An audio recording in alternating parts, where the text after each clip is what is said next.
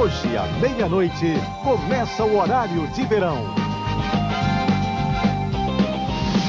Circuito Nacional de Aeróbica. Os melhores atletas nacionais disputando o título. Não perca, 11 de outubro às 22 horas no Moinho Santo Antônio. Oferecimento Chicken Light, a opção leve da Seara.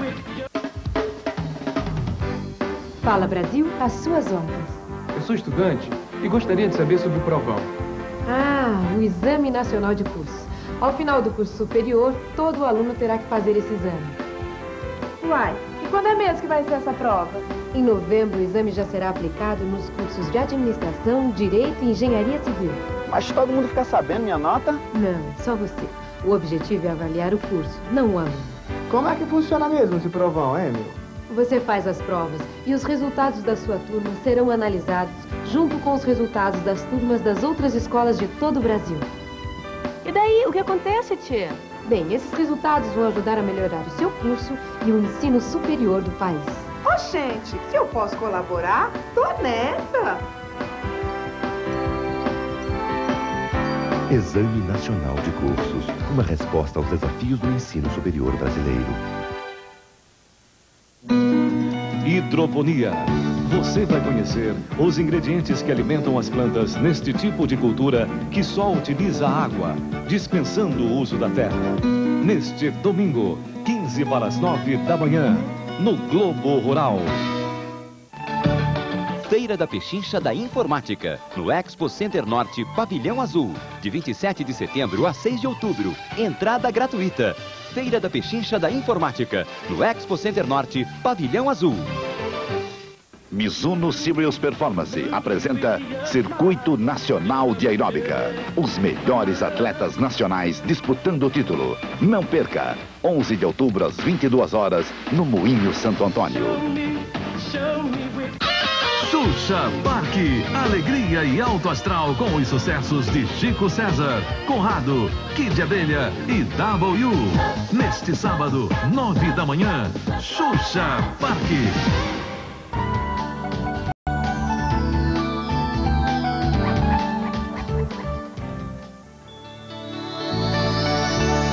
Quer ver uma experiência simples e surpreendente que nos ensina alguns princípios importantes da ciência?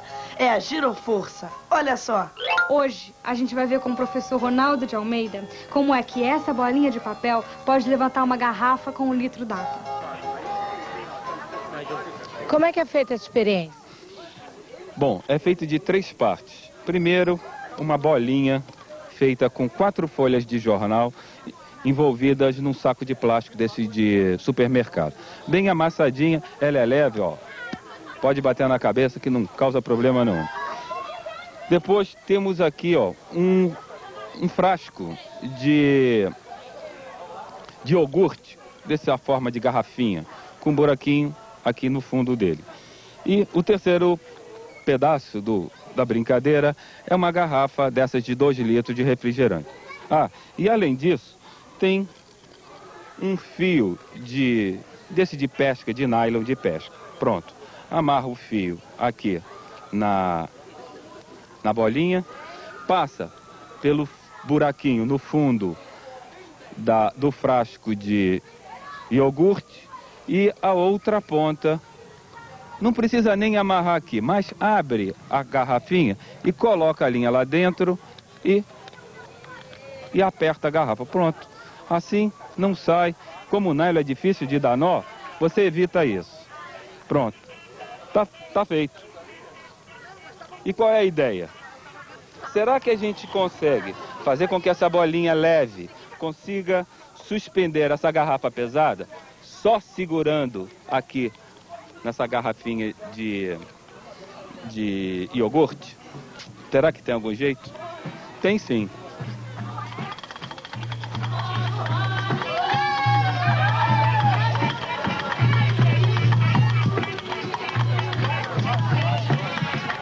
Então, com esse experimento aqui, nós queremos mostrar que existe uma força para fazer com que a bolinha gire. Se não tivesse essa linha e eu começasse a jogar a bolinha para frente, ela não ia rodar, ela ia continuar andando em frente, ela ia cair, mas ela se afastar de mim. Para ela ficar rodando em volta dessa, desse frasco de, de iogurte aqui, tem que haver uma força que traga ela de volta, que não deixe ela ir embora. E quem faz essa força de manter a, a bolinha rodando em volta de mim é o peso dessa garrafa. O peso dessa garrafa evita que a bolinha vá embora. Então ela fica rodando, rodando, rodando, rodando. E tem mais. Quando a bola gira, ela gera uma força suficiente para levantar a garrafa, que é mais pesada, mas está parada.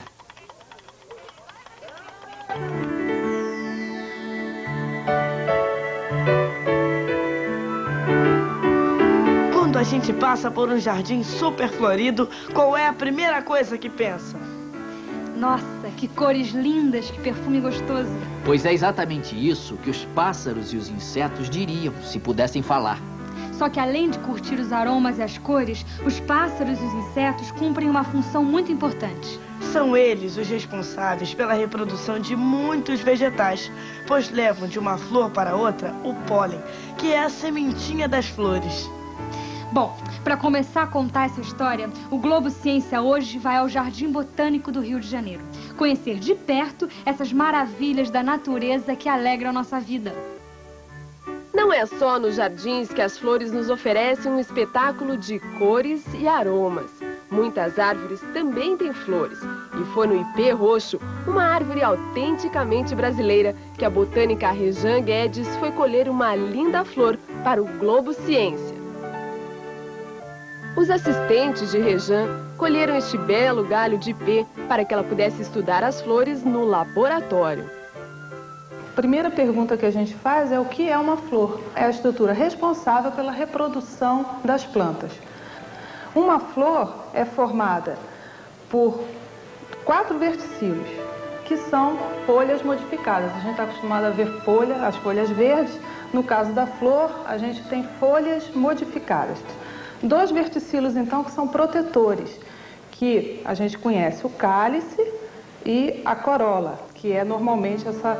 A corola é sempre muito vistosa, vermelha, rosa, amarela. E lá dentro, então, da corola, a gente vai observar os dois verticilos reprodutores, que são o androceu, que são os órgãos masculinos, e o gineceu, feminino. Quer dizer que as flores têm os dois órgãos sexuais? Pois é. E aí os insetos e os pássaros apanham um pólen do órgão masculino e levam para o órgão feminino de outra flor. Então, o androceu é formado de quê? De estames. Um estame é formado de filete e antera. E aqui dentro da antera é que a gente vai encontrar os grãos de pólen. Ao passo que o gineceu é formado de ovário, que sempre fica escondidinho, e depois o estilete, e lá na pontinha a gente tem o estigma. Bom, as flores também são muito inteligentes, ou os vegetais são muito inteligentes. E, na verdade, eles sempre estabelecem uma troca, não é? Então, no caso, essa estrutura de flor aqui é típica de flores que são polinizadas por beija-flor. Então, o beija-flor introduz o biquinho aqui e vai lá no fundo pegar o néctar, que é a recompensa dele. E ele tem uma sinalização, como se fosse um, um aeroporto, né? uma pista de aeroporto. Ele tem aqui uma sinalização, que no caso a gente vê aqui essa pista amarela, que nada mais do que está dizendo assim, olha, segue essa trilha que lá no fundo você vai ter sua recompensa se você levar meu pólen.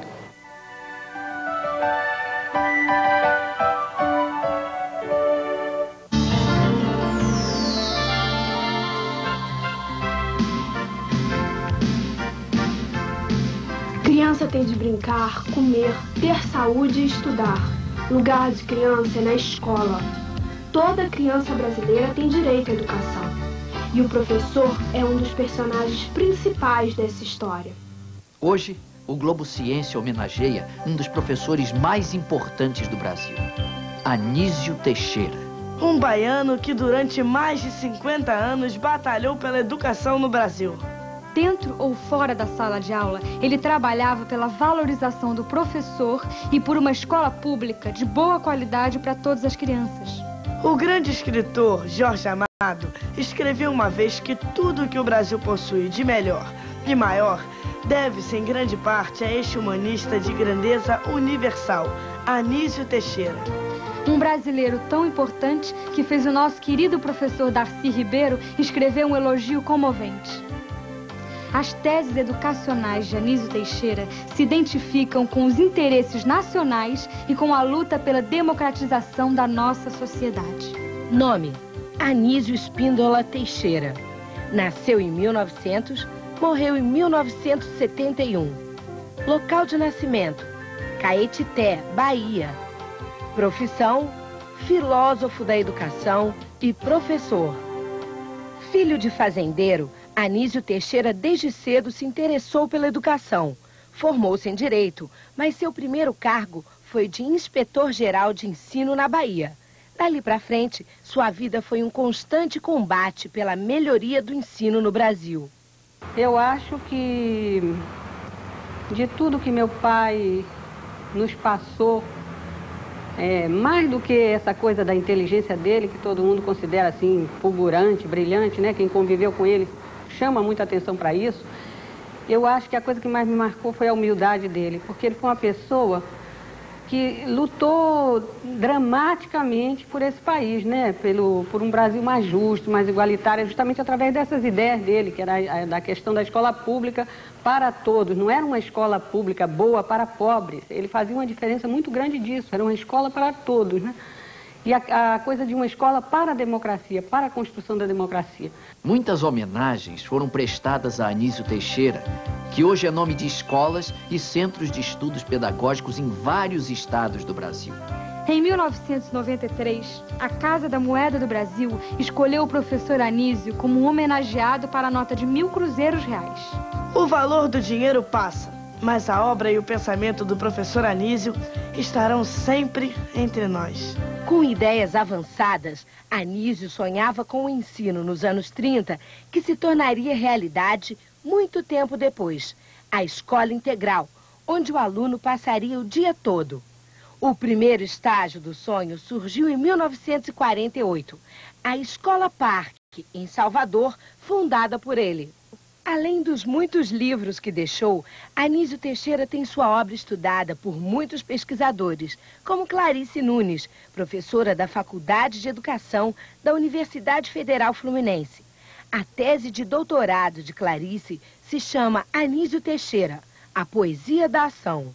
Para Anísio Teixeira, a valorização do magistério era a pedra de toque de toda a sua política educacional.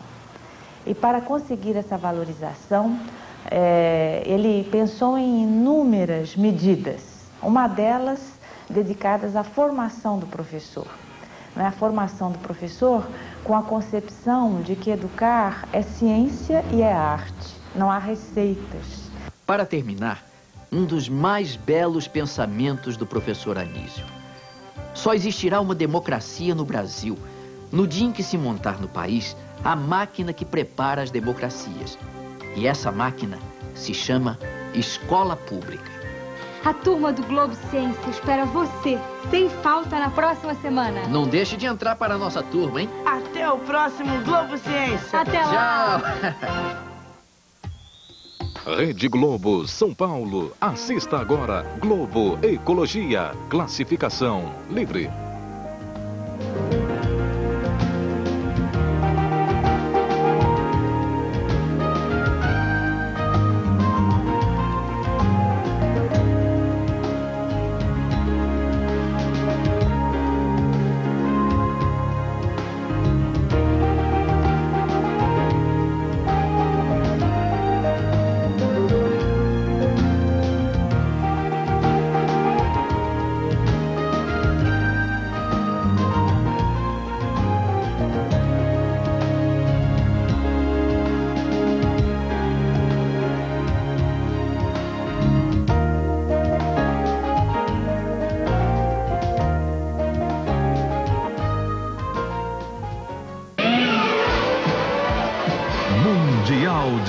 Fórmula 1, a última prova do ano, Grande Prêmio do Japão. Você vai conhecer o campeão da temporada 96, Grande Prêmio do Japão, ao vivo, domingo, dia 13, Mundial de Fórmula 1. Oferecimento Pepsi, agora é golaço.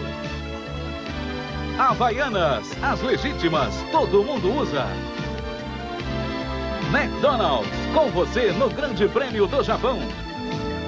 Cerveja Antártica, mais bonita, mais gostosa, paixão nacional. E Poppets, incrível como ninguém pensou nisso.